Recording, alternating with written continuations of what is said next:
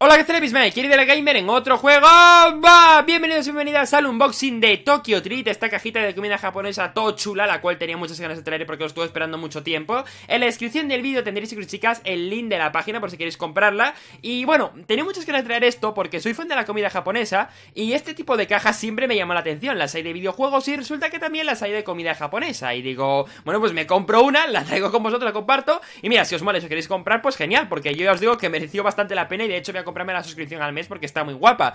Vamos a poner un reto de likes chicos y chicas de unas metas arriba para más Porque me haría muy feliz traerles más tipos de unboxings de comida de esta chula de vez en cuando Y me haría muy feliz. Bueno, lo que acabáis de ver ahí eh, ha sido el papelito donde podéis ver todos los productos que tiene la caja Y en principio voy a empezar abriendo las cositas que veis por aquí que son de comer rápido ¿vale? Lo del fondo, que es algo de hacer, o sea, de cocinar tú mismo No lo voy a hacer porque es mucho, muy complicado.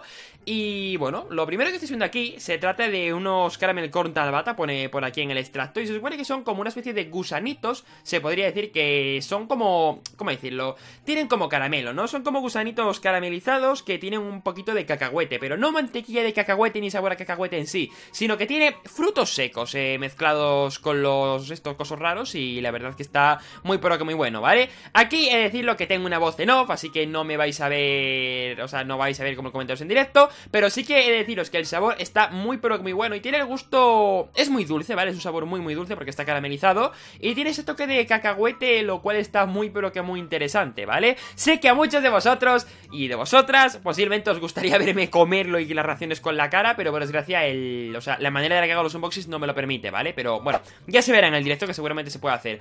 Aquí podéis ver unas patatas fritas onduladas de toda la vida, solo que son unas patatas fritas las cuales tienen vinagre y, bueno, tienen vinagre lo típico y sal de toda la vida, obviamente van a tener sal, pero el tema curioso es que tienen vinagre y, bueno, aquí como siempre me tengo que pelear para abrir las cajitas, siempre esto es un poquito dolor anal hasta que se consiga abrir. Y bueno, patatas de toda la vida, ya sabéis que como, bueno, eh, Japón es igual que en España, ¿vale? Las bolsas son casi todo aire. Y bueno, son patatas fritas onduladas normales y corrientes, solo que son muy ácidas, muy ácidas y dulces a la vez. No sé, es un sabor muy raro, pero...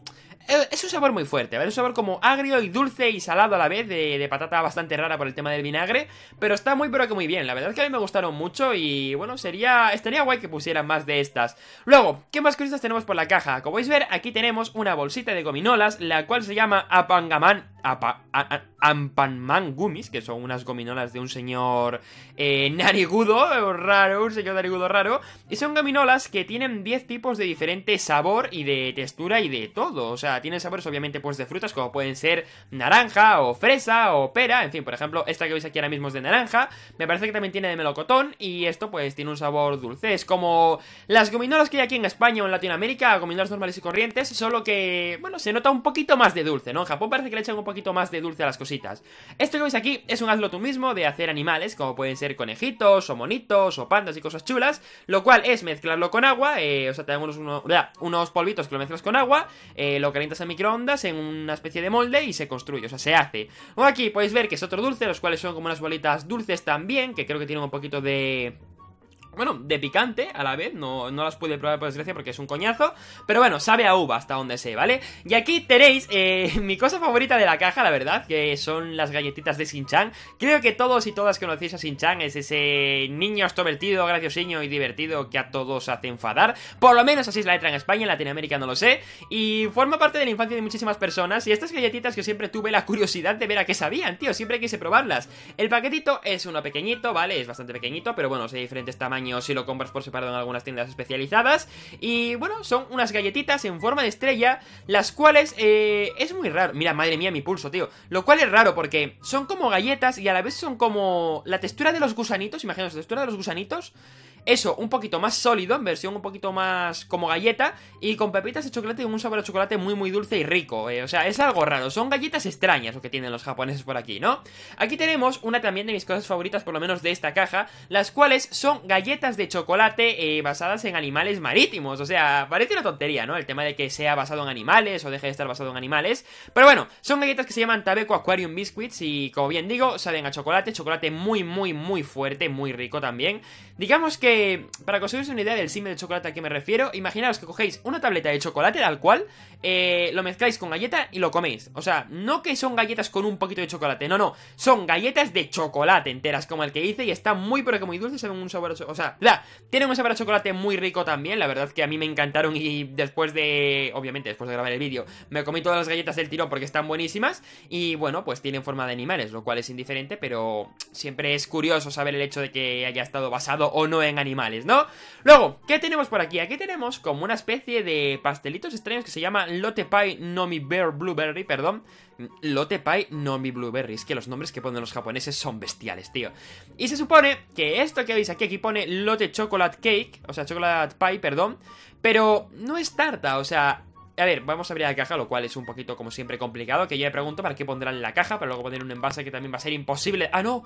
Este es más fácil de abrir, vale, vale, espera A ver si lo consigo abrir decentemente y que se pueda ver a la cámara Ábrete, coño Ahí está Como podéis ver, eh, son hojaldres, ¿vale? Son hojaldres dulces que están... Pues bueno, por encima tienen una capa de azúcar glaseado, ¿vale? Para que esté también dulce Y en la parte central tienen sabor a lo que vendría a ser un poquito como de tarta de queso Sí, vendría a ser un poquito de tarta de queso, ¿verdad? Sí, es tarta de queso o con fresa Lo cual a mí al personal este no me gustó mucho porque el hojaldre no me gusta Pero bueno, para la gente que le guste este tipo de pastelitos pues está muy pero que muy bien, la verdad Luego, por aquí, bueno, un papelito random por ahí Aquí más cosas que tenemos, como por ejemplo una especie de batido Esto es como una especie de batido de Coca-Cola y a la vez como de gominola Es como...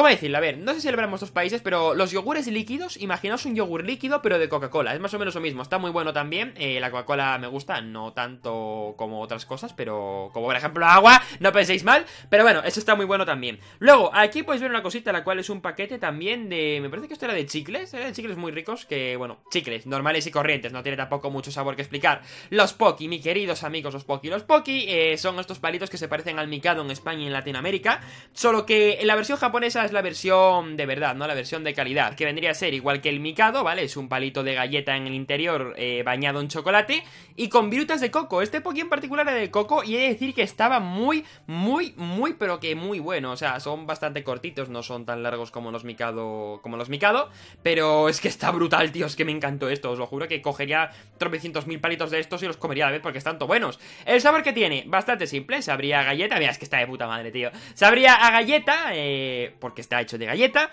con chocolate y los frutos de coco le añaden ese sabor dulce también todo rico. Esto que veis aquí se llama Spicy Curry Ramune, que supone que es, es raro, porque es como como, como, ¿cómo se llama esto? Como curry, como el curry que se le echa al arroz o cositas de este estilo, solo que es para beber, no es para condimentar, no es para echar a la comida, o sea, es bastante extraño. Que por cierto, el tapón que tiene es muy raro, por si os preguntáis, porque salen burbujitas, salen muchas, muchas, muchísimas burbujitas, y bueno, aquí en el vídeo no lo puedo abrir, lo abrí ya fuera de cámaras, pero es muy raro, o sea, esta vida es muy rara. No me atreví a verlo tampoco porque bebí solo un poquito y quemaba muchísimo, o sea, pica, pica muchísimo, como bien dicen en el en el extracto, en el papelito este de, de los objetos que tiene la caja. Pero bueno, no sé si os gusta el picante o cosas de estas raras como este curry extraño, pues podéis beberlo o tomarlo si queréis, es curioso cuanto menos. Y por último, pero no por menos importante, tenemos por aquí unas galletitas que se llaman Sushi Cider, o sea, Z-H-U-C Cider, y son pues caramelos, son como los caramelos, estas pastillitas efervescentes entre comillas que se pueden masticar o dejar en la boca que se deshagan, y tiene un sabor... No sé, no sabría decir qué sabor tiene, decir verdad.